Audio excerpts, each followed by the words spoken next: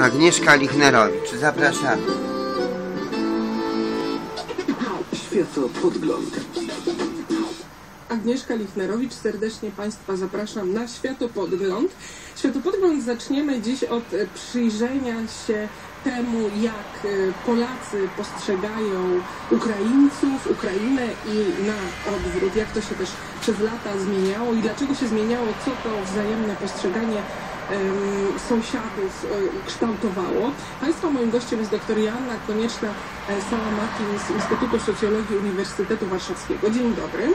Dzień dobry. No Pani jakiś czas temu zrobiła, e, przy, przyjrzała się temu wzajemnemu e, e, postrzeganiu, z czego powstała taka analiza e, zatytułowana Kontakty polsko-ukraińskie, a zmiany wzajemnego postrzegania Polaków i Ukraińców. I w związku z tym, może na początek pozwolę sobie zapytać o to, co najbardziej kształtuje to wzajemne postrzeganie. Czy to jest kontakty osobiste, czy jednak historia e, bardzo trudna jest, fundamentalna, czy politycy i, i, i, i to, co, co, się, co się mówi w debacie e, publicznej, czy też e, zmiany, które w tych krajach zachodzą, czyli e, rzeczywistość chciałoby się powiedzieć, co ma największy wpływ? No, tak naprawdę to wszystko, no bo e, właściwie tak, jeśli mówimy o zmianach, które zachodzą w tych krajach, no dobrze, a skąd my to wiemy, że one tam zachodzą? No albo wiemy to z kontaktów osobistych, bo jeździmy do tego kraju, bo spotykamy, bo rozmawiamy z ludźmi, no albo wiemy to z mediów, prawda? E, e, Więc to jest e, ta, rzecz, ale też jeśli chodzi o polsko-ukraińskie relacje, no to też dosyć duże znaczenie mają kontakt, ma przekaz taki rodzinny, znaczy historia, której uczymy się w szkole, no w końcu mamy e, wiele, wiele lat wspólnej historii, no i e, e, oraz też to, co nam mówiono w domu, atmosfera jakaś taka, to się oczywiście zmienia, o czym właśnie jest ten tekst, prawda, bo dawniej było tak, że tych kontaktów osobistych było dużo mniej, czy, czy wręcz w ogóle ich nie było mm, w czasach tak zwanych komunistycznych. A, y, no, ale za to były, no, no właśnie, no, była, była historia, trochę było też tej historii takiej, której, która była przemilczana, o której w szkole się nie mówiło, ale za to tam babcia coś opowiadała.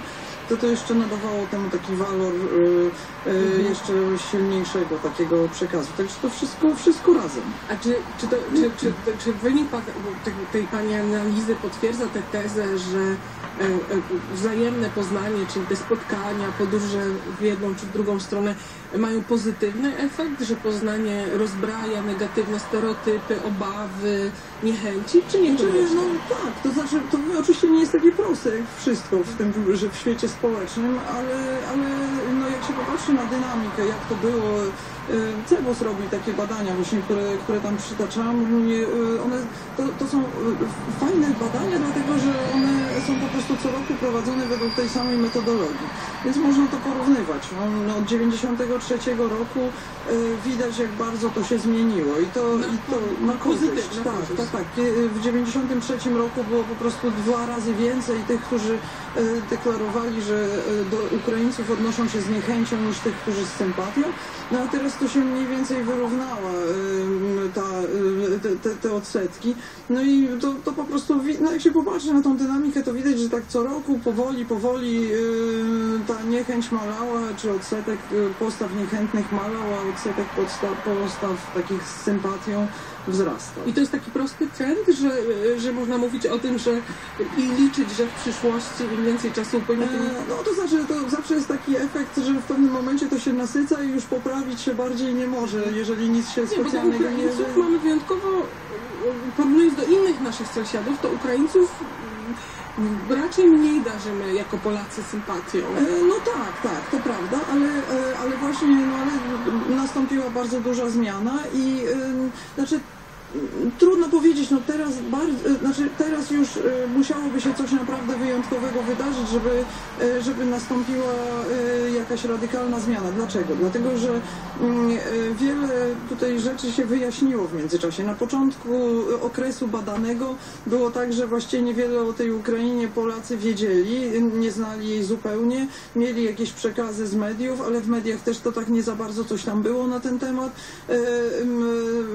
coś tam szkole się uczyliśmy, tak, y, coś się tam pojawiła, to jakieś filma, to coś takiego, no to, to, była, to był właściwie rzeczywiście taki stereotyp zupełnie No nieugruntowany. jaki, ale. E, y, negatywny, związany y, z historią. Czyli banderowcy Tak, ba- znaczy tak, do bandy, tak jak UPA do bandy, tak, E, ale nie tylko, bo, y, no bo jak, jak robiliśmy badania, Sowiety. to również, e, a powstanie Chmielnickiego y, też, także to nie tylko ta historia II wojny światowej czy coś, ale jeszcze nawet odleglejsza. E, I Sowieci, tak, Sowieci coś takiego bardzo nieatrakcyjnego w ogóle. Ale Jak bardzo nie wiem, czy, czy udało się Wam wychwycić i czy, czy jak bardzo silny jest ten element no, pewnego poczucia wyższości, niezwiązanego z tą polityką, że jednak to jest ten, potem mówiliśmy młodszy brat, a wcześniej jak, jakiś chłop niecywilizowany, któremu nieśliśmy cywilizację, a, a potem te Sowiety biedniejsze, bardziej na wschód. y, y, E, To jest ten element, ale on, ja bym nie powiedział, znaczy e, on nie dominuje, to znaczy tak, to jest rzeczywiście element obrazu, że, że to Sowiety, że coś takiego nieatrakcyjnego i, e, i właśnie no, e, e, kiepski poziom rozwoju, raczej słabe perspektywy tego rozwoju i tak dalej, to funkcjonuje. Ja bym nie powiedziała, że dominuje jednak poczucie wyższości, chociaż poczucie wyższości to można zobaczyć, jak się czyta różne komentarze tam e, po, po, pod artykułami na przykład, czy na, e, tylko no, ja jednak nie jestem zwolenniczką przypisywania e, temu dość jakiejś dużej wagi, bo to jednak jest e, no, pewna określona grupa ludzi, którzy, która zawsze tam uczestniczy w tego rodzaju wymianie informacji. Natomiast z badań, e, z tych jakościowych części badań, której, której, którą ja prowadziłam, w której brałam udział, akurat e, sam, samą taka, sama taka wyższość, nie, ja bym nie powiedziała, no gdzieś tam się pojawia, ale to jest raczej mm, mało. Ale też użyła Pani takiego sformułowania, że, że te opinie Polaków na temat Ukraińców i Ukrainy, zaraz to rozdzielimy, są nieugruntowane, że rzeczywiście łatwo, łatwo, łatwo nimi sterować albo łatwo same ulegają różnym impulsom. No tak, bo dlatego, że one nie są, e, właśnie nie są ugruntowane we własnym doświadczeniu. Jak ja coś sama zobaczę, doświadczę czegoś, to trudno mi jest później wmówić, że jest inaczej. Natomiast e, no, e, Polacy rzadko jeżdżą na Ukrainę, zresztą e, znaczy to e, oczywiście jest pewna grupa osób, która ma ciągłe kontakty i Ukraińców, którzy mają ciągłe kontakty z Polską i Polakami e, i, i Polaków. To są mieszkańcy rejonów przygranicznych, ale to jest szczególna kategoria osób. Natomiast Natomiast no, tak generalnie rzecz biorąc, to Polacy rzadko tam wychodzi y, z badań, że około jedna piąta przynajmniej raz była na Ukrainie, ale właśnie y, jest tak, że jak już raz, do, dość często jak już raz byli, to już więcej nie jeżdżą. I też E, pewnie bardziej w zachodniej tutaj. e, No tak, to jeżdżą do zachodu, ale jeżdżą do Kijowa też, y, prawda? A jak jest na odwrót? Znaczy rozumiem, że, że sympatia e, Ukraińców w stosunku do Polaków jest, i Polski większa niż na odwrót. Tak, ale jest tak samo nieugruntowana. To znaczy, to też jest tak, że e, Ukraińcy też mało jeżdżą do Polski, za wyjątkiem mieszkańców, e, e, tych, którzy biorą udział w małym ruchu granicznym. No ale to jest 30 kilometrów, tak? Wzdłuż, granicy. Natomiast reszta stosunkowo rzadko. Natomiast mają obraz Polski jest pozytywny i taki stosunek do Polski i Polaków jest pozytywny. Jak, e, był taki sondaż pod koniec e, m, 2015 roku przeprowadzany, gdzie byli e, respondenci na Ukrainie pytani, e, jakie kraje darzą ciepłymi uczuciami, a jakie tam chłodnymi. No to Polska była najczęściej wymieniana wśród tych, który, e, któ- których, wśród krajów, da, których darzą ciepłymi uczuciami. To ja już nie To pamiętam duże. procent, ale to było po Ale to jest prostu... duże, bo w Polsce Ukraińcy są bardzo nisko, raczej należy ich szukać na samym E, końcu tych Dobrze, tylko e, proszę zwrócić uwagę, w Polsce CEBOS pytał stosunek do Ukraińców, a nie do Ukrainy. No właśnie, ta dwoistość, o To co jest, chodzi? tak, to jest rozróżniane i to jest i na Ukrainie rozróżniane i w Polsce jest to rozróżniane. Ukraina kojarzy się raczej dobrze. I był kiedyś taki nawet artykuł chyba w Rzeczypospolitej Piotra Kościńskiego, który napisał e, Ukraińcy raczej nie, Ukraina tak. Chyba był taki tytuł, albo tak cytuję z pamięci. E, U, Ukraina kojarzy się pozytywnie. To jest coś, efekt rozpadu Związku Radzieckiego, o te wszystkie piosenki, że tam czule żegnał się z dziewczyną, jeszcze czulej z Ukrainą. Tak to nam się, e, mamy jakiś sentyment i ogólnie rzecz biorąc e, jest dość dobrze w Polsce. Tak, Ukraińcy, no to właśnie już jako podmiot zbiorowy oni budzą różne kontrowersyjne uczucia, pozytywne także, ale, ale e, również negatywne. E, Tak samo jest, e, tak samo jest na Ukrainie, tylko może to jest mniej e, ostro, dlatego że w ogóle jakiś stosunek do Polaków, taki nacechowany emocjonalnie, to mają mieszkańcy zachodniej Ukrainy. Tam jest zarówno największy... Tak, tam jest, bo tam jest zarówno najwięcej tych, którzy wyrażają sympatię, jak i tych, którzy wyrażają jakąś niechęć, którzy mają pretensje różnego rodzaju, również te odnoszące się do historii. Ale, ale Ukraińcy również to rozdzielają. To znaczy oni też do, do Polski, znaczy do, Polska jest cieplej widziana niż Polacy. To jeszcze na koniec, jeżeli na ile da się e, e, prognozę przedstawić, bo w ostatnich punktach pisze Pani o tym, że między innymi, że e, w ostatnim czasie ze względu na sytuację na Ukrainie mamy większą migrację, co z jednej strony stanowi o prowadzi do spotkań, ale z drugiej strony może prowadzić do rywalizacji na rynku pracy, czyli jednak wprowadzić negatywne emocje. E, Ale że w ogóle kryzys migracyjny powoduje, że generalnie w- Polsce wśród Polaków rośnie niechęć do przyjezdnych, co też rozumiem może się odbić negatywnie. Podsumowując, czy ta prognoza jest negatywna? E, e, To znaczy, no, jak wiadomo, z przewidywaniem to jest kiepsko, jeśli chodzi o przyszłość, prawda? Ale ja nie byłabym taka pesymistyczna. To znaczy, to bardzo zależy, oczywiście, e, to zależy od tego, jaka atmosfera będzie e, w tak zwanym dyskursie publicznym wokół Ukrainy i Ukraińców panowała, bo to jednak zawsze wpływa na to ale w sytuacji, kiedy y, ludzie ze sobą współpracują, pojawiają się oczywiście konflikty, tylko że to są konflikty realne. To znaczy trudniej jest odpowiedzieć na konflikt, że mój pradziadek zabił twojego pradziadka, natomiast łatwiej jest rozwiązać konflikt realny, który jest o realne miejsce pracy, y, ewentualnie, nie wiem, jakąś czyjąś nieuczciwość czy coś takiego. Więc ja tutaj byłabym bardziej optymistyczna, to znaczy, że wydaje mi się, że no, mm, e, konflikty o realne kwestie jest łatwiej No, ale e, negocjatorowie z kolei rozwiązać. jest, silny nacisk na te kwestie historyczne i, i, jakby no, duża uwaga. No to prawda, no to jest e, wobec tego kwestia też taka, czy potrafimy jakoś wybrnąć z tej historii i, prze, i przejść do kwestii współczesnych, no bo jednak jeżeli chcemy e, no, sto- jakieś budować stosunki z Ukrainą, to lepiej jednak, żeby one były oparte na współczesności niż na historii. Bardzo dziękuję. Doktor Joanna Konieczna z Sałamatin z Instytutu Socjologii Uniwersytetu Warszawskiego była Państwa gościem. Dziękuję bardzo. Światopodgląd. Oddzielny zespół techniczny lub część podlegające wymaganiom technicznym określonym w przepisach dotyczących badań homologacyjnych lub regulaminach Europejskiej Komisji Gospodarczej Organizacji Narodów Zjednoczonych przeznaczone do zastosowania w Spokojnie poradzimy. O przepisach ruchu drogowego, zachowaniach na jezdni i bezpieczeństwie. Krótko i na temat. Poradnik drogowy TOK FM od poniedziałku do piątku po 10.55. Zapraszam Krzysztof Woźniak.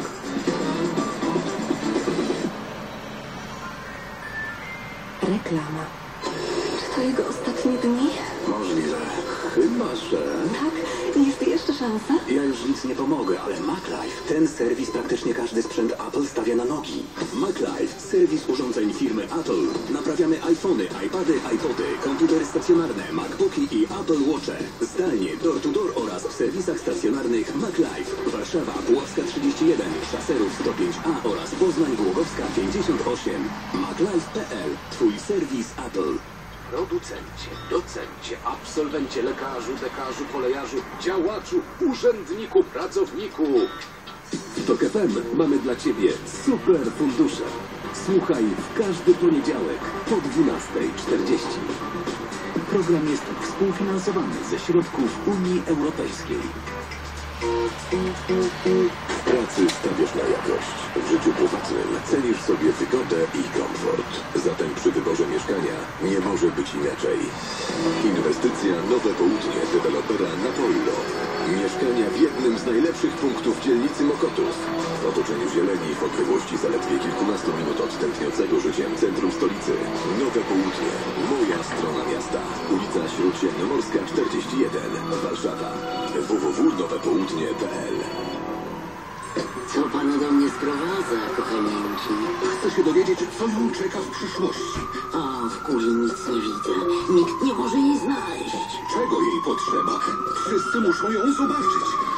Chcesz, aby twoja firma była widoczna w internetowej panoramie firmy i całym internecie? Wypróbuj nowoczesne rozwiązania dla biznesu. Pakiety cyfrowe, strony www, SEO, remarketing i mailing.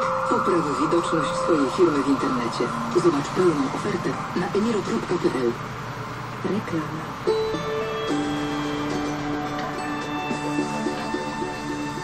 Radio TOK FM. Pierwsze radio informacyjne.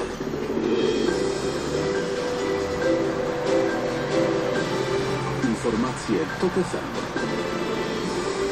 15.20, Adam Ozga, zapraszam. Popieram wprowadzenie zakazu handlu w niedzielę. Dzięki temu dołączymy do krajów, które uważają życie rodzinne za wartość społeczną, deklaruje podczas forum ekonomicznego w Krynicy wicepremier i minister rozwoju Mateusz Morawiecki. Tymczasem gości programu EKG w TOK mieli sporo zastrzeżeń do projektu ustawy przygotowanej przez Solidarność.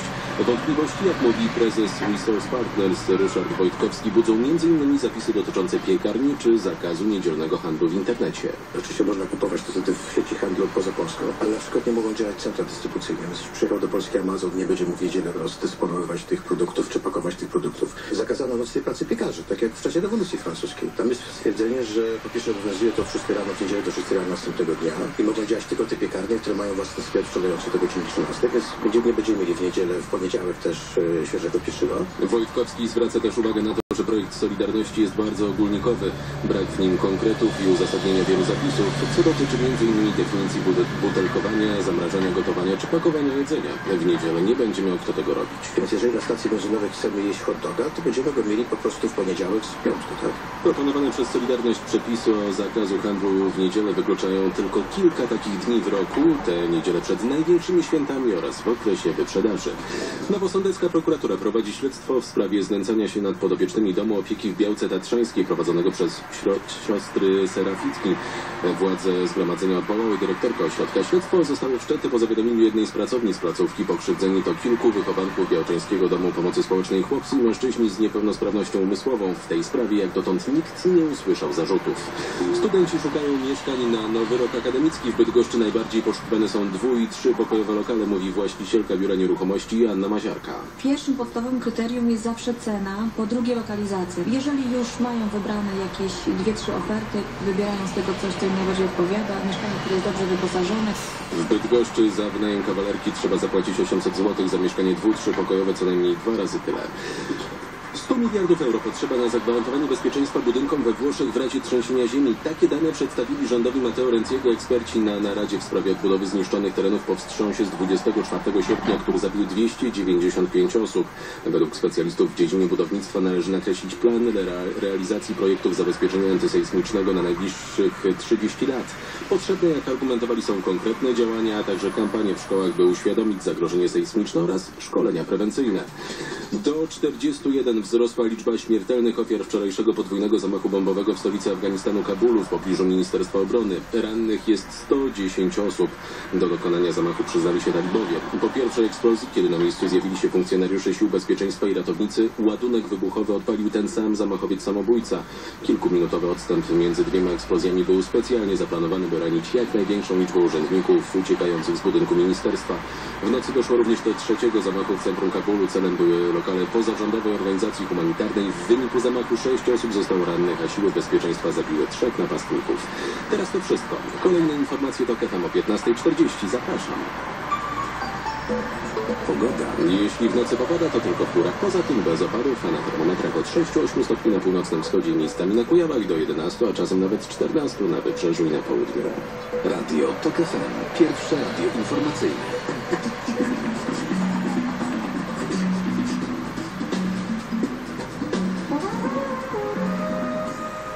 Światło podgląd. Agnieszka Lichnerowicz. Państwa gościem jest teraz e, dr Wojciech Wilk, PCPM, Polskie Centrum Pomocy Międzynarodowej. Dzień dobry. Dzień dobry, dzień dobry Państwu.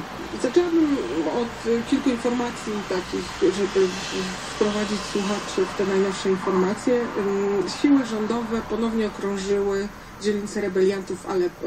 Ta Aleppo to jest...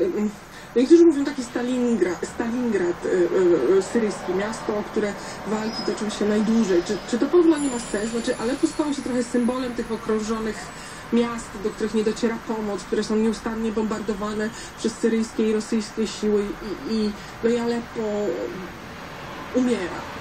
Słuchaj, ja bym nazwał Aleppo, czyli miasto w Syrii przede wszystkim. Jest to, Aleppo jest takim, takim syryjskimi, przepraszam za określenie, Katowicami, dlatego że Ka- Katowice z przyległymi miastami tworzą naj- największy ośrodek miejski w Polsce. Jego ludność jest większa niż ludność Warszawy. I taka sama, sama sytuacja jest w Syrii. Aleppo liczy wraz z przyległościami około 4 milionów mieszkańców. Liczyło. liczyło do 2011 roku, a Masza liczył dziś około 2,5 miliona mieszkańców, też do, do ogólnej wojny domowej. I w przypadku Aleppo mamy typowy podział miasta podzielonego na dwie strefy. Jest strefa kontrolowana przez rząd, gdzie życie się toczy w miarę normalnie i strefa e, kontrolowana przez siły opozycyjne, która jest strefą śmierci. E, I głównie ze względu na ostrzał i ciągłe bombardowania do 2015 roku przez siły rządowe, a teraz także przez siły rosyjskie. Rozumiem też, że to jest okrążona dzielnica, bo to jeszcze jest problem e, jakby głodu, wyczerpania i tak dalej. Tam sytuacja w Aleppo jest takim mikrokosmosem Syrii, gdyż o ile można w, w syryjskim przy, powiedzieć, że są cztery główne strony, czyli, czyli wojska rządowe wierne rządom Bashara al-Assada, Kurdowie, którzy walczą o swoją coraz większą autonomię, państwo islamskie oraz inne grupy rebelianckie, to de facto wszystkie te cztery, cztery strony są zaangażowane w ten czy inny sposób w konflikt Aleppo. Miasto jest podzielone pomiędzy sektory kontrolowane przez siły rządowe, e, opozycję to nie państwo islamskie, ale także jest dzielnica kurdyjska, która jest jak gdyby takim trzecim frontem w tym, w, tym, w tym mieście. No, jest to miasto piękne, historyczne, które zostało praktycznie całkowicie zniszczone. To jak, Znaczy, wiele, tak jak wiele innych miast w Syrii. Tutaj mówi się, że obecnie 30, przynajmniej 35% budynków w Syrii jest albo bardzo ciężko uszkodzone, albo leży w gruzach, czyli 35% ludności kraju, czyli około 7 milionów ludzi nie ma gdzie mieszkać. To jest tak, że y, y, rzeczywiście można mówić o, o jak, jakąś perspektywę największym y, kryzysie humanitarnym od dekad, od II wojny światowej. To mamy różnego rodzaju kryteria, które możemy stosować. Jeżeli byśmy wzięli jednak pod uwagę liczbę uchodźców, czyli osób, które musiały uciekać ze swojego domu i są uchodźcami wewnątrz swoich krajów i e, albo przeszły przez tą międzynarodową granicę, a także zważymy na fakt, że wojnę w Iraku i w Syrii to jest de facto już jeden konflikt, który odbył dwa kraje. To jest rzeczywiście największy konflikt, największy kryzys uchodźców od czasów II wojny światowej. Jak ludzie mieszkają w Aleppo, to, to, to, to jak oni się poruszają? To znaczy, ja próbuję sobie tak wyobrazić, jak to wygląda, że, że dzielnica rozumiana przez kilkadziesiąt budynków jest otoczona przez posterunki, gdzie naprzeciwko siebie stoją przedstawiciele jednej grupy. Jak, to... Są to normalne walki uliczne. Tutaj jest bardzo bliskie porównanie do tego, co przeżył Bejrut, czyli stolica Libanu, tego, tego państwa, gdzie pracujemy jako PCPM podczas wojny domowej, gdzie de facto linia frontu w Bejrucie to było dosłownie kilkadziesiąt przecznic. I po jednej stronie było całkowicie normalne życie, po drugiej stronie było całkowicie normalne życie. Po stronie chrześcijańskiej nawet działały restauracje, kluby nocne i tak dalej, a dosłownie kilkadziesiąt e, metrów dalej była taka strefa śmierci, która była strefą, strefą frontu. Podobna sytuacja... E, Znaczy to, to był taki obszar szerokości kilku kwartałów, czyli kilku przecznic, ale poza tym obszarem życie tr- d- się toczyło w miarę normalnie. Podobna sytuacja jest właśnie w Aleppo. Tam co się zmienia to jest to, że jedna ta strona rebeliancka próbuje okrążyć tą część kontrolowaną przez rząd i odwrotnie, więc kilka y, tygodni temu siły rządowe odcięły dostęp do tego centrum Aleppo kontrolowanego przez rebeliantów, potem rebelianci się przebili z powrotem, połączyli te dwie strefy, teraz dosłownie wiadomość wczoraj, siły rządowe znowu ten kontrast przycięły, więc jest po prostu mm, tendencja do odcinania się nawzajem. Najgorsze jest to, że tą linię frontu nie przechodzą żadne konwoje z pomocą humanitarną, więc jeżeli jest okrążona pewna dzielnica, nie mówimy tutaj tylko w przypadku Syrii o, o okrążeniu Aleppo, ale także jest ponad 15 różnego rodzaju innych miejscowości, które są okrążonych. W ciągu ostatnich kilku miesięcy do tych e, miejsc- okrążonej miejscowości darły raptem cztery konwoje z pomocą humanitarną. Więc te wielka, wielkie nadzieje e, w dyplomacji, które do, do, doprowadzą do tego, że przez tą linię frontu będzie można przejechać, dowieść do tych oblężonych miejscowości e, pomoc humanitarną sprawdził całkowicie na niczym, co tylko pokazuje po prostu barbarzyństwo tego konfliktu, gdyż oblężenia i po prostu głodzenie, m, m, Właśnie. traktowanie głodem i, i To jest kombatantów intencjonalne, prawda? Oczywiście i, i ludności cywilnej jest praktyką po pierwsze średniowieczną, a po drugie zabronioną w prawie międzynarodowym, tylko tego nikt tam nie respektuje. I e, to jest Syria i ewentualnie Irak, o którym mówiliśmy. Mhm. Natomiast e, e, jak też często mówimy, e, w krajach sąsiadujących Liban, Jordania i Turcja w tej chwili jest ilu Syryjczyków? No, pomiędzy 2,5 a 3 miliony. A w samym Libanie, tam gdzie pracuje PCP? E, W Libanie jest około, około miliona osób, od miliona uciekinierów z Syrii, tylko jest to kraj wielkości województwa świętokrzyskiego, e, który ma który ma około 4 milionów ludności sam sobie, więc już jest tam dość gęsto za- zaludniony i do tego jeszcze jest, jeszcze jest milion Syryjczyków e, w tym, w tym, na tym niewielkim obszarze.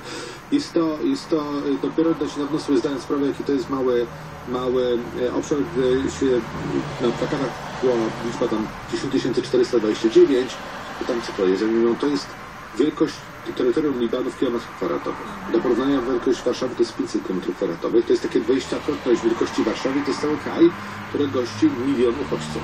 Właśnie to, to porównanie często pada, jakby jest pro, propagandowo wykorzystywane, bo z jednej strony mówi się taki mały Liban, dużo uboższy, przyjął milion, a Europa ma problem, ale z drugiej strony inni mówią, no tak, ale Liban to jest jakby podobny kulturowo, to też są Arabowie, więc jest im e, jakby łatwiej społeczeństwu to, to przyjąć. Jak, jak, to, jak, jak to ocenić? Że jak dużym wyzwaniem jest ten milion uchodźców dla Libanu, również dla stabilności tego kraju, bardzo podzielonego na tam szyitów, sunnitów i chrześcijan. i tak dalej. To Wyobraźmy sobie sytuację, żeby do Polski przybyło 10 milionów uchodźców z Ukrainy. I, a nasz kraj jest wielokrotnie silniejszy gospodarczo i nie przeszedł 15-letniej wojny domowej, tak jak ten Liban. Liban pod tym kątem się ugina, ale też gdyby przyjęcie wszystkich uchodźców w Europie nie jest rozwiązaniem, dlatego że koniec końców e, celem całej pomocy dla uchodźców jest zapewnienie im bezpieczeństwa, zapewnienie im no, tego minimum humanitarnego do momentu, kiedy będą mogli bezpiecznie i na własną odpowiedzialność dobrowolnie wrócić do domów. Ale jeżeli oni nie wrócą nigdy do, tych- do domów, to nigdy ta Syria nie zostanie odbudowana. I Oczywiście tu jest dużo wątków, bo je, jeden dotyczy pieniędzy, zaraz będziemy o nich rozmawiać, ale drugi też dotyczy tego, ja, ja czuję, że trzeba na to zwrócić uwagę, ile można mieszkać w tymczasowym y, domu, obozie, ile lat można tak spędzić. No, to już jest to przecież ponad 5 lat, tak?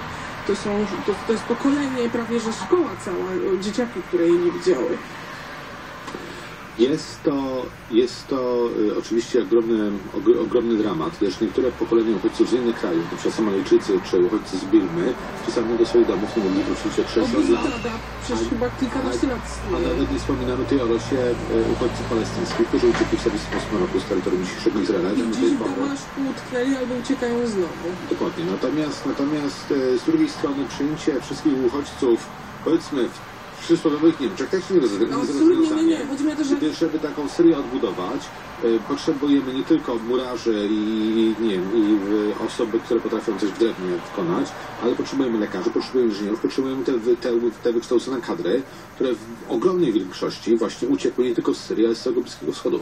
I więc pojawia się ten argument, że w- on w Polsce jest przywoływany, że ze względów społecznych, oporu społecznego, takich argumentów, Polska wzywa bardziej do pomocy humanitarnej właśnie tam na miejscu, tak wypełniając jakiś taki e, swój obowiązek. No i, i czy rzeczywiście można mówić o, o wzroście tej pomocy, bo obietnic jest dużo, tylko ja mam frustrację, frustruję się, bo mam wrażenie, że to są tylko słowa, słowa, słowa, a przecież ten konflikt trwa 5 lat. No, do tej pory, do, do niedawna się, e, mieliśmy do próby, mówiąc o polskiej polityce wobec tego całego kryzysu na Bliskim Wschodzie, były dwie, dwie możliwości. Albo nie robimy zupełnie nic, udajemy, że ten problem nas nie dotyczy, albo że rzeczywiście e, przyjmiemy uchodźców i też jak gdyby, nie, co będzie się wiązało z pewnymi e, tutaj sporami na, na terenie naszego własnego kraju. Kilka miesięcy temu e, pojawił się jakiś taki konsensus e, wśród wielu osób i polityków za, zainteresowanych tym tematem, że rzeczywiście jest istnieje trzecia droga, czyli zwiększenie pomocy humanitarnej dla Znaczy Bliskiego ja nie widzę Wschodu. problemu, żeby zrobić to i to, ale... Yy, Tak, ale, ale, ale wysz, wyszliśmy z elementu, że w ogóle się tym tematem nie chcemy zajmować. Weszliśmy najbardziej taki politycznie bezpieczny temat, że, że jednak ta pomoc humanitarna powinna być zwiększona na Bliskim Wschodzie, tym bardziej, że kraje Bliskiego Wschodu przyjęły dziesiątki tysięcy uchodźców polskich podczas II wojny światowej. Też troszeczkę można byłoby za tą, za- tą solidarność i dobroć od, odpłacić. Rzeczywiście MSZ w ramach swoich własnych funduszy zwiększył... Znaczy swoich własnych, budżetowych. Tak, ale wygospodarowywanych wewnątrz g- budżetu MSZ-u, nie do, do, dochodzących z dodatkowych źródeł rządowych. Wygospodarował znaczący wzrost pomocy humanitarnej, bo dla Bliskiego Wschodu był to wzrost z poziomu 2,5 w 2015 do prawie, prawie czy ponad 15 milionów złotych, bo tam część podstawy pomocy humanitarnej została skierowana na Ukrainę. Natomiast, e, więc jest to no, wielokrotny wzrost, Ale w porównaniu do potrzeb ale jest to 4 miliony dolarów. Natomiast e, cała ilość pomocy humanitarnej potrzebnej, żeby no, pomóc Syrii i uchodźcom, jest liczona w grubych miliardach dolarów. Dlatego też Polska jako szósty największy kraj Unii Europejskiej, wydaje mi się, że jeżeli teraz znalazł już pewien interes polityczny, aby, aby też móc nawet na poziomie europejskim powiedzieć, ok, nie przyjmujemy uchodźców, ale przynajmniej będziemy lepiej e, wspierać pomoc humanitarną. Mam nadzieję, że, że za tym też pójdą trochę większe nakłady, tak żeby e, te 10 tysięcy uchodźców, którym PCPM ma, ma zamiar w tym roku dzięki tym funduszom MSZ dostarczyć kompleksową pomoc humanitarną w Libanie, mogą może w przyszłym roku być liczbą nie wiem, 15 czy 20 tysięcy osób. Co nadal będzie, będzie, będzie Kroplą. morzu potrzeb, ale dla tych ludzi będzie pozostawieniem ich przede wszystkim pod kuratorą państwa, które się nimi opiekuje. I Ale takim jednak w tymczasowości, cały czas takim, takim wsparciem, które jednak ich, ich e, ratuje przed utonięciem w totalnej beznadziei i, i biedzie. I miejmy nadzieję, że, dopiero, że razem doczekamy tego, że będą mogli bezpiecznie i, na, i dobrowolnie do tej Syrii powrócić. Nie wiem, ale być może czeka nas wszystkich już na koniec mm, poważne pytanie nas, społeczeństwa. To znaczy, bo do tej pory e, tak, to zwiększanie pomocy nie dość, że z bardzo małej na wciąż trochę większą, ale bardzo małą, e, no oznacza, że przesuwane są jakieś środki. A pytanie jest, czy, to, czy, czy po prostu nie, nie, nie będziemy musieli jako społeczeństwa więcej dać. To znaczy, że nie da bezboleśnie zrobić. Polska wysyła 4 F-16 do Kuwejtu, które miały latać, bombardować cele państw islamskiego. Do tej pory nie latają, nie bombardują, a kosztuje to około 200 milionów złotych rocznie. A tu mówimy o 20. A tu mówimy o 20 milionach, więc jeżeli nawet część środków na ten cel zostały przesuniętych, to Polska wydaje mi się nie tylko by pomogła uchodźcom, ale też bardzo by wzmocniła swoją pozycję na arenie międzynarodowej jako kraj, który mówi, nie tylko mówi o zwiększeniu pomocy, ale także to pokazuje, że to można zrobić. No i to jest oczywiście pytanie do, do Polaków, do słuchaczy, czy, czy byliby gotowi, nie wiem, więcej pieniędzy od siebie przeznaczyć, czy, czy, Zapraszamy do odwiedzenia strony internetowej PCPM. albo poprzez budżet, bo Gdzie- albo da, Gdzie, dając gdzie też możecie się Państwo zapoznać z tym, co robimy i nie tylko pod kątem zabezpieczenia ucho- e, uchodźcom dachu nad głową, ale także między innymi e, dania im dostępu do pomocy lekarskiej. Dr Wojciech Wilk z Polskiej, Polskiego Centrum Pomocy Międzynarodowej. Dziękuję bardzo. Światopodgląd. Uprasza się o wyłączenie telefonów komórkowych, niedotykanie eksponatów, nierejestrowanie dźwięku i obrazu, nieprowadzenie głośnych rozmów. Wielkie festiwale, premiery filmowe i najgorętsze koncerty sezonu to od wtorku do piątku, a w poniedziałek zostajemy w domu, oglądamy seriale, czytamy książki, słuchamy płyt. Wtedy kultura osobista zamienia się w kulturę domową. Patrycja Wanade zapraszam od poniedziałku do piątku po 17.40. Reklama.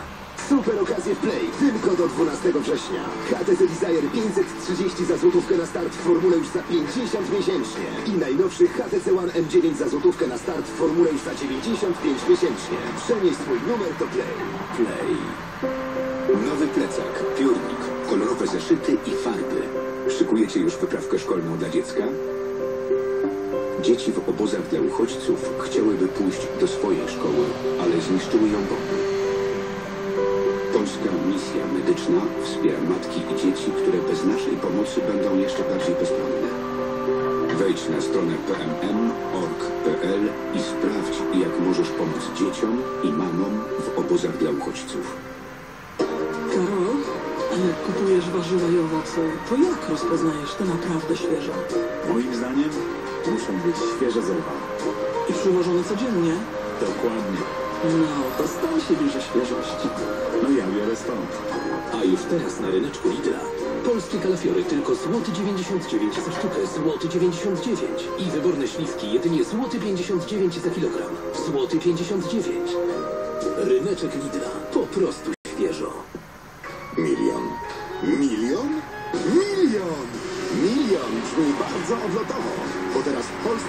lotniczych LOT trwa największa promocja w roku, a w niej aż milion biletów w super cenach.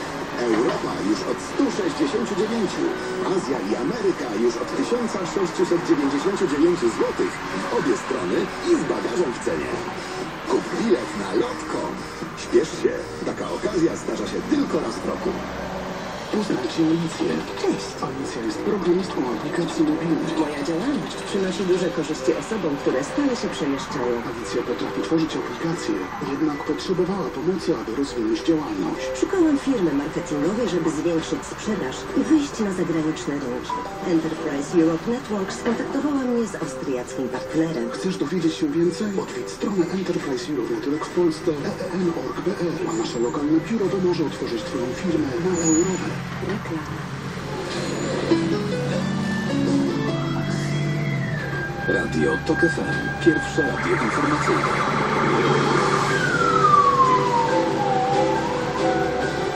Informacje TOK FM. 15.41. Adam Ozga, zapraszam. Platforma i Nowoczesna składają wniosek do marszałka Sejmu o wygaszenie poselskiego mandatu Zbigniewa Ziobry. Obie partie powołują się przy tym na 103 artykuł Konstytucji, który zakazuje łączenia funkcji posła ze stanowiskiem prokuratora. Jednak senator PiSu Jan Maria Jackowski twierdzi, że to tylko kolejna odsłona walki opozycji z Ziobrą, a partia rządząca w całości wyjaśnia, że prokurator generalny nie jest po prostu prokuratorem liniowym i dlatego przepis go nie dotyczy.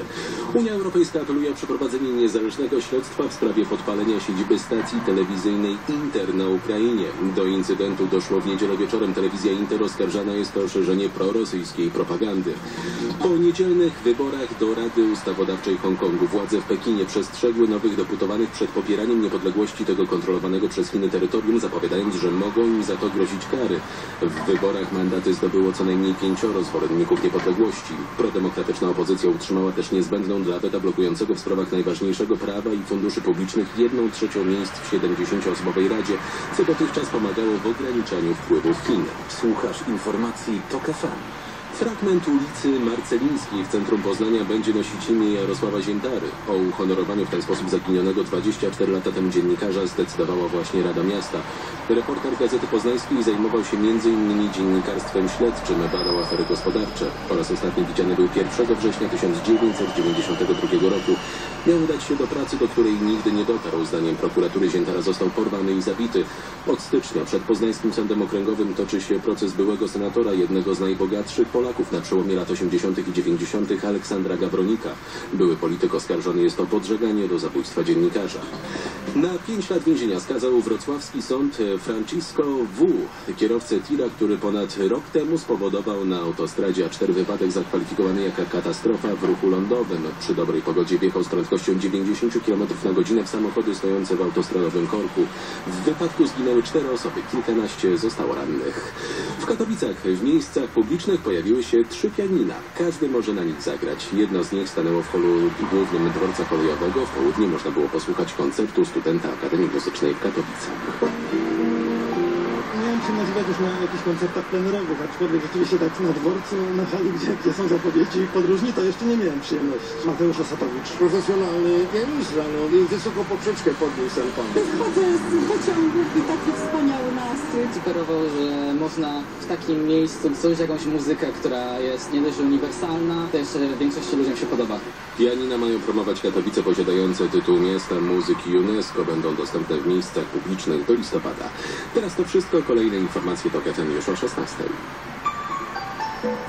Pogoda. Jeśli w nocy popada, to w górach, poza tym padać nie powinno, a na termometrach od 6 stopni na Suwalszczyźnie i na Kujawach do 14 na Wybrzeżu i na południu. Radio TOK FM. Pierwsze radio informacyjne.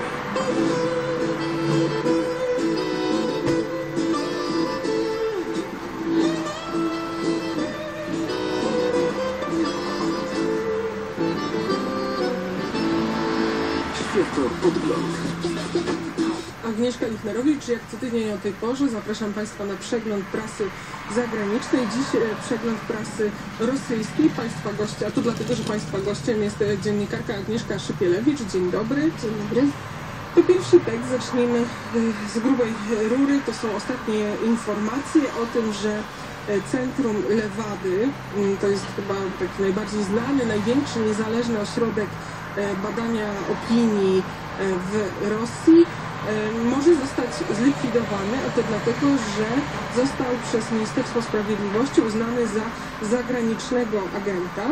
E, I dzisiaj e, Agnieszka Szypielewicz wybrała dla Państwa tekst e, z wiadomości, gdzie on no, mówi o tym, że mm, robiąc badania w zasadzie muszą powiedzieć dzień dobry, jestem agentem zagranicznym, co Pan sądzi o, co, co, co jest niemożliwe. No właśnie, no właśnie. No zresztą ten tekst można byłoby nazwać taką kroniką zapowiedzianej śmierci. To znaczy wiadomo, że od jakiegoś czasu, od wprowadzenia tej ustawy o konieczności rejestrowania się jako agent zagraniczny w przypadku y, finansowania z zagranicy, Pracownicy Centrum Lewady spodziewali się, że zostaną w końcu wpisani na, na taką listę i nawet tutaj jest zabawne takie stwierdzenie, że to aż dziwne, że y, dopiero, do, dopiero teraz trafili do tego rejestru y, i mówi to jeden z bliskich współpracowników Kremla w tym tekście. Natomiast no cóż, no to jest, to jest bardzo zła informacja, ponieważ y, no, tak miejsce, gdzie można czegoś miejsce- dowiedzieć. Tak, no to jest, to jest e, centrum, które zadawało bardzo niewygodne pytanie, dodajmy, bo oni badali innymi na przykład poziom zadowolenia lub niezadowolenia obywateli z e, bieżącej sytuacji w kraju.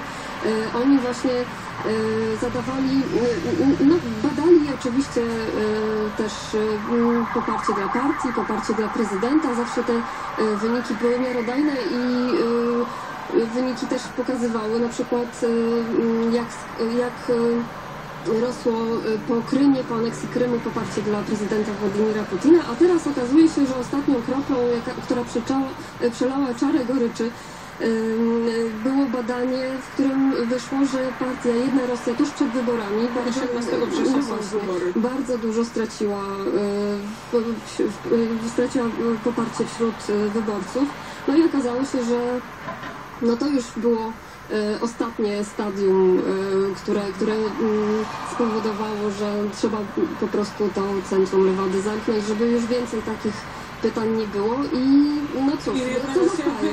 rozumiem, wybory. Znaczy, no, mm, na pewno nie ma, nie ma co do tego wątpliwości. Natomiast zostanie na przykład e, takie Centrum Badania Opinii Publicznej w CIOM, które nie, nie pozwala sobie na zadawanie niewygodnych pytań, a wręcz przeciwnie. E, Wyniki e, badań, które prowadzi, świadczą o tym, że wzrost gospodarczy e, jest na poziomie takim, jak obiecywał prezydent i że sytuacja jest zadowalająca i w zasadzie nastroje społeczne są bardzo optymistyczne.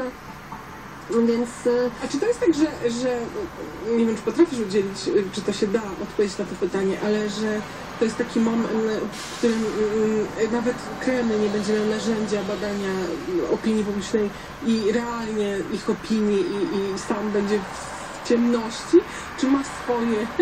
Znaczy, y, z tego co wiem y, i tak mówili też analitycy, no to y, Kreml bardzo uważnie y, czytał te badania y, w Centrum Lewady i bardzo y, intensywnie też reagował w momencie, kiedy na przykład spadało poparcie dla, y, dla Władimira Putina i y, partii rządzącej i, i różnymi właśnie narzędziami, instrumentami y, y, potrafił pokierować tak, żeby te nastroje y, jednak się poprawiały.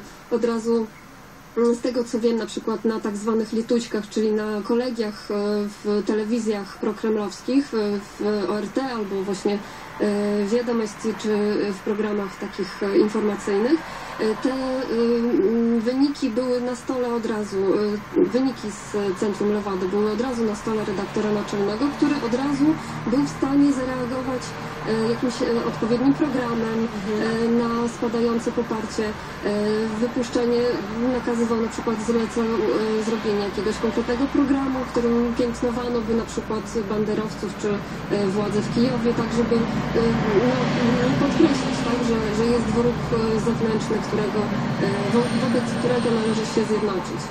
Więc y, nie wiem, nie wiem właśnie, jak oni teraz. Natomiast e, możliwe, że WCIOM będzie pr- przeprowadzał e, badania, które nie będą e, publikowane. Tak się zastanawiam. Nie, jest, nie mam takiej wiedzy, czy tak e, można to zrobić, ale e, myślę, że nie zostaną jak, jak, e, Cała reszta. jak cała reszta. Tak. E, e, Szef Centrum Lewady, Lew Gutkow odpowiada, e, zapowiada, że będą się odwoływać, ale chyba nie, nie wiem, czy to znając, znając rosyjski, rosyjskie sądy i rosyjski system odwoływania się, nie ma na to e, szans. E, Wysłałam e, też, e, znalazłam taki tekst ciekawy, o, rozmawialiśmy przy ostatniej naszej e, rozmowie, przy ostatnim naszym spotkaniu e, o e, zagrożeniu, które płynie ze strony Pokemonów dla rosyjskiej, dla rosyjskiej państwowości. No i okazuje się, że łapanie Pokemonów w różnych miejscach może być groźne. Yy, I takie Pokemony na przykład zagrażają właśnie nie tylko państwowości, ale też wierze, bo okazuje się, że jeden z blogerów, który postanowił złapać kilka Pokemonów w, cerkwi, został zatrzymany, została przeszukana, yy, zostało przeszukane jego mieszkanie, znaleziono tam długopis z dyktafonem i okazało się, że jest podejrzewany o szpiegostwo, więc grożą mu 4 lata więzienia. W związku z tym, a zaczęło się właśnie od Pokemonów i y, cerkiew y, jest y, zdania, że nie należy pobłażać temu blogerowi, ponieważ to by świadczyło o y, takiej słabości y, i państwa, i, właśnie władz cerkiewnych, w związku z czym musi zostać ukarany z, y, według najważniej, najwyższych wymiarów kary, które przysługują właśnie w związku z tym wykroczeniem, y, czy w związku z tą, no nie wiem, może zbrodnią, łapanie Pokemonów w- miejscu kultu y, okazuje się jest bardzo, bardzo groźne. Kolejny tekst pochodzi z Meduzy, więc takiego emigracyjnego, dysydenckiego, chciałoby się powiedzieć, ośrodka medialnego. I to jest monolog nauczyciela z moskiewskiej szkoły na Radzie Pedagogicznej, gdzie omawiano skandal związany z tym, e, że nauczyciel miał seksualne relacje, stosunki z uczennicami. Y, Tak, wydawałoby się, że to jest sprawa taka obyczajowa i może taka wewnętrzna. Kryminalna. Tak, tak, tak. Y, Chodzi o szkołę numer 57 w Moskwie. To jest taka bardzo elitarna szkoła, do której chodziły, chodzą y, dzieci wielu inteligentów, wielu przedstawicieli również y, takich środowisk liberalnych, opozycyjnych. Z tej szkoły, wśród uczniów tej szkoły są e, obecni dziennikarze, na przykład wielu mediów, którzy mają poglądy li- liberalne i którzy e, nie obawiają się mm, prezentować te swoje poglądy właśnie, czy to w mediach, czy na swoich profilach e, w mediach społecznościowych. Mm, No i ta sprawa y, pokazuje, jak bardzo y, takie zakłamanie i zamiatanie różnych spraw pod dywan, y, takie wieloletnie zamiatanie tych spraw pod dywan może mieć koszmarne skutki również y, polityczne, ponieważ okazuje się, że teraz y, y, w mediach społecznościowych, na Twitterze czy na Facebooku y, rozpoczęło się wśród y, takich em, działaczy prokremlowskich, czy tam na przykład PR-owców, którzy promują politykę Kremla, chociażby Konstantyn Rykow jest takim mm, przykładem, zaczęło się punktowanie, który z dziennikarzy, którzy piszą źle o władzy, który z nich skończył tę szkołę, a naprawdę wielu tych dziennikarzy taką szkołę właśnie, tę szkołę właśnie konkretnie kończyło. E, No i okazuje się, że podciąga się to właśnie pod takie e, taką demoralizację, przykład tego, że demoralizacja, która rozpoczęła się już w szkole podstawowej, później w szkole średniej, bo to e, tam w Rosji jest ciągłość e, nauczania, czyli tam jest 11 klas. I że ta właśnie demoralizacja powoduje, że ci ludzie mają takie niebezpieczne dla państwowości poglądy. No i ciekawa sprawa, że obecna minister edukacji e, Rosji e, jest osobą bardzo blisko związaną właśnie z administracją Kremla. E, I ostatnio czytałam o jej poglądach właśnie między innymi na politykę Stalina. I to w jaki sposób ona postrzega właśnie mm, edukację w Rosji i ona na przykład jest przeciwna takim pisarzom jak Dowłatow czy Y, y, y, sześćdziesiątniki, którzy władzę radziecką... Pokolenie tego 68, tak, 68 roku, którzy, którzy krytykowali właśnie władzę radziecką. Ona jest zdania, że nie trzeba dzieciom wtłaczać do głowy takiego Rozumiem, ciemnego myślenia, takiego właśnie... Skandal z tym nauczycielem, który został zwolniony, jest wykorzystywany teraz do tak, tak atakowania... Tak, do atakowania środowisk liberalnych, środowisk takich właśnie opozycyjnych, ale też e, no, pokazuje to niestety, jak bardzo e, no, do pewnego stopnia e, zakłamane jest takie wewnętrzne środowisko szkolne, które za wszelką cenę broniło tego nauczyciela, zamiast e, przerwać Bo to. kto nie popełnia, y, nie ma I właśnie, i właśnie w no właśnie, i w tekście, który, który przesłałam, który znalazłam, bardzo zaniepokoiło mnie takie zdanie, nauczyciel, który mówi o tym zebraniu, na którym właśnie mówiono, żeby całą tę sprawę spróbować uciszyć i, i nie wynosić Rosjanie mówią nie wynosić sory ze zby, czyli e, nie brać własne brudy we własnym domu, tak? E, On mówi, że to spotkanie przypominało mu zebranie partyjne z lat 30., czyli tak naprawdę no, takie stadne zachowanie i takie, taka, takie przerażenie i banie się prawdy, wyciągnięcia tej prawdy jest no, niestety typowe dla, dla no, takich niedobrych sytuacji, tak, e, takich właśnie zakłamanych, e, zakłamanych sytuacji. Na portalu y, to kolejny tekst taki Diela RU. Z kolei był tekst rocznicowy w związku z y, rocznicą y, ataku terrorystycznego, który miał miejsce w 2004 roku w Biesłanie. I to jest taki tekst rocznicowy, ale pokazujący, że to ciągle bardzo boli. To jest nie tylko y, tekst o tym, że to bardzo boli, ale też, że cały czas y, nikt nie chce przerwać tego koszmarnego y, rotmia, który tam narósł wokół tej tragedii, ponieważ tak naprawdę no, ym, to, że matki, które domagają się ujawnienia y, decydentów, którzy podjęli decyzję o ataku na szkołę, którzy, szturmie, tak. szturmie, którzy Którzy obwiniają obwiniają ten szturm o tą całą o śmierć tych tak, tak, tak.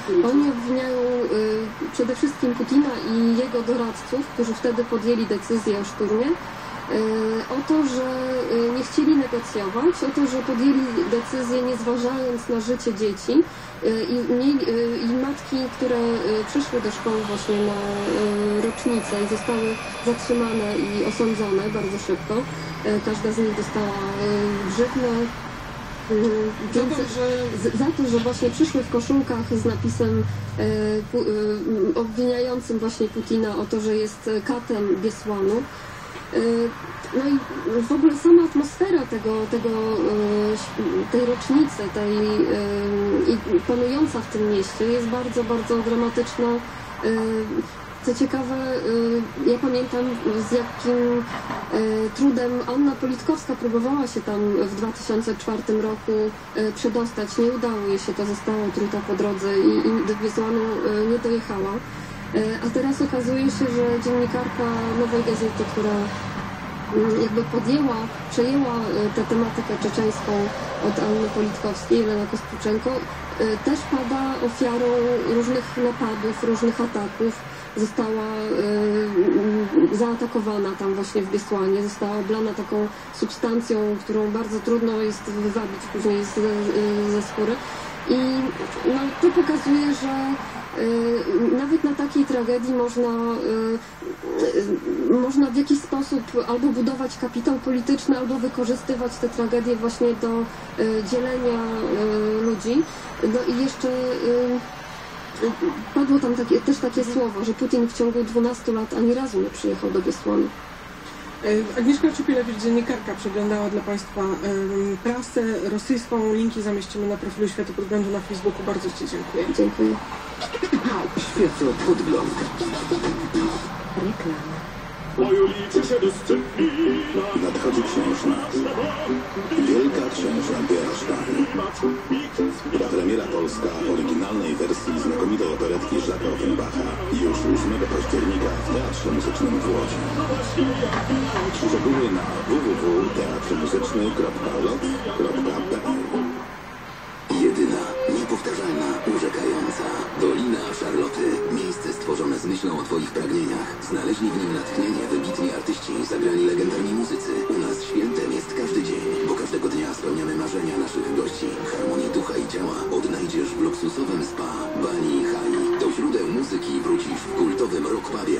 Daj się urzec Dolinie, w której serce i gitarę zostawił Carlos Santana. I have a new home. This is a new home for me. www.dolinacharloty.pl www.liderinformatyki.pl Czy wiesz, że już połowa firm opiera swój biznes na technologii, a w ciągu dwóch lat liczba ta wzrośnie do ponad 80%? A czy ty jesteś gotowy na cyfrową rewolucję? Jak przejść transformację i zdobyć przewagę rynkową? Dowiesz się na kongresie Lider Informatyki już 22 września. Dołącz do liderów cyfrowej transformacji. Partnerem merytorycznym jest firma Integrated Solutions, dostawca rozwiązań teleinformatycznych dla największych firm w Polsce. Zarejestruj się na www.liderinformatyki.pl Przed użyciem zapoznaj się z treścią ulotki dołączonej do opakowania, bądź skonsultuj się z lekarzem lub farmaceutą, wszystkiego jest za dużo, dlatego pamiętaj, że jest Valerin Max. Na zdenerwowanie weź Valerin Max z maksymalną dawką kozu kalifowskiego. To najsilniejszy lek. Z Valerinem żadna sytuacja Cię nie pokona. Valerin Max. Maksymalna dawka spokoju. Tabletki 360 mg w wyciągu. Wskazania. Łagodne stany napięcia nerwowego i uczucia niepokoju. Przeciwwskazania. Nadwrażliwości od któregokolwiek składnik leku. Aflofarm. Reklama.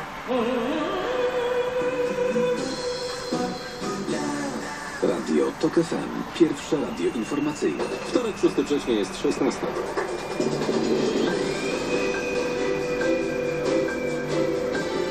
Informacje TOK FM.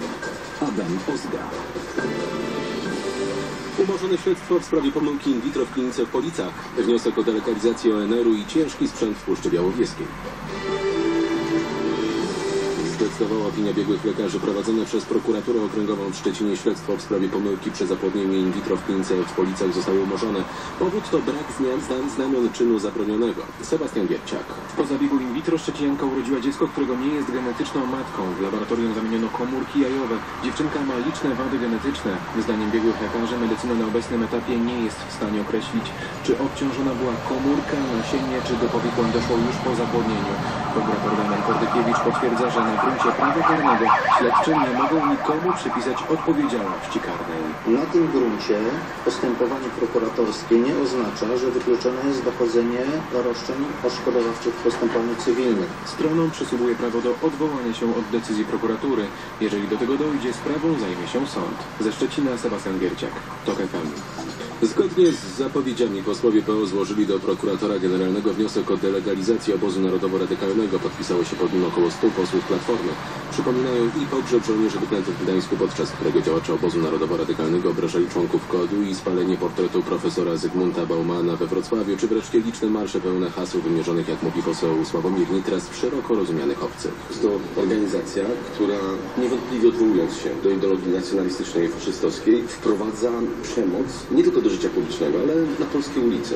PiS przekonuje, że taka organizacja jak ONR mieści się w ramach demokracji. Podobnie uważa rzecznik klubu Kukiz 15 Jakub Kulesza, z którym rozmawiała reporterka PKTN Karolina Lewicka. Zgodnie z stwierdzeniem Voltera, z którym się zgadzam, będę bronił wolności do wypowiadania się każdej idei. Nawet jeżeli jest to idea faszystowska albo antysemicka? Mamy w naszym kodeksie karnym odpowiednie przepisy i można je stosować.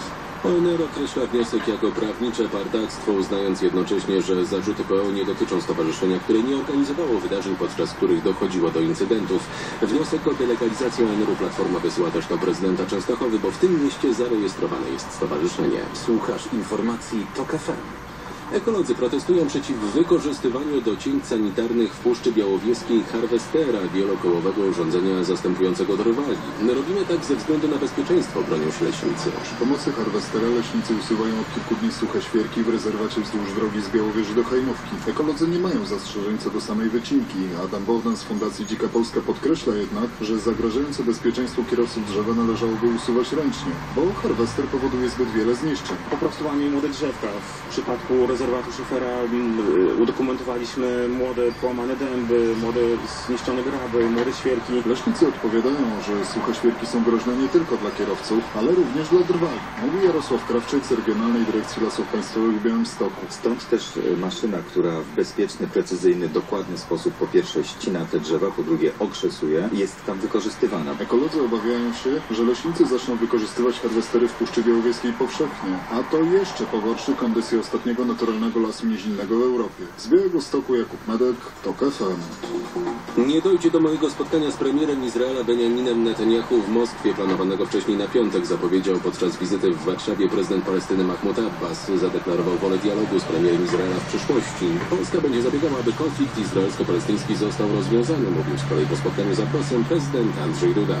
Rząd Turcji znajduje się pod dużą społeczną presją, by zerwać rozmowy akcesyjne z Unią Europejską, twierdzi szef tureckiej dyplomacji Mevlut Cavusoglu, oskarżając Unię o stosowanie podwójnych standardów i brak wsparcia po nieudanym puczu z 15 lipca.